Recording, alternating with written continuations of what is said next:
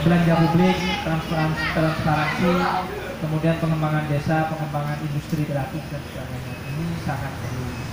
Nah, yang kedua, yang terakhir maksud saya berkaitan dengan gerbang salam ini. Ini kalau dihapus tidak mungkin menurut saya. Mungkin tapi masih banyak polemik karena kalau mengusulkan penghapusan gerbang salam kita ini akan dihantam oleh tokoh-tokoh Islam yang garis keras menurut saya. Saya garis keras. Uh, ini kan juga produknya gerbang salam ini muncullah yang namanya LP2SI. Nah bagaimana LP2SI ini berperan tidak hanya membuat pelang-pelang di pinggir jalan aja, tapi harus lebih masuk kepada dunia pendidikan, dunia yang lain termasuk bagaimana Contact online.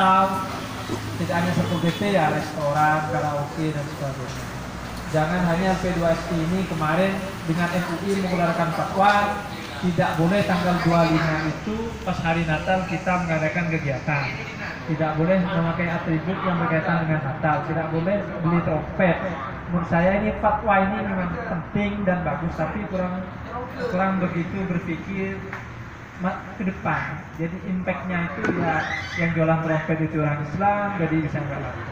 Nah tanggal 25 itu saya mengadakan acara besar-besaran.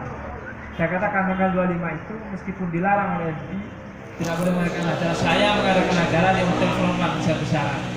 Dan alhamdulillah sukses. Tidak ada kritikan MUI-nya kita undang, LP2C-nya kita undang meskipun enggak Nah, ini bentuk apa perjuangan sebetulnya yang tidak hanya berpikir pada sesaat.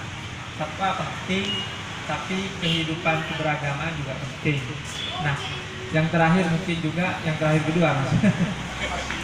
organisasi ini akan eksis kalau manajernya bagus terus yang kedua ini empowerment pemberdayaan. Kalau dua ini nggak dijalankan ya otomatis eh, siap-siap belum tikar saya gitu.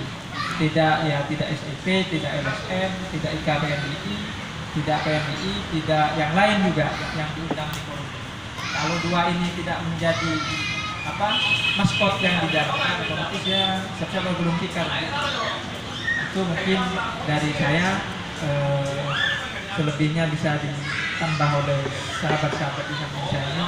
Yang penting nanti SIP pasca pertemuan ini punya rekomendasi biar ini tidak sia-sia. Terima kasih. Mungkin tambahan saja. Seperti dari awal saya sampaikan eh, kegiatan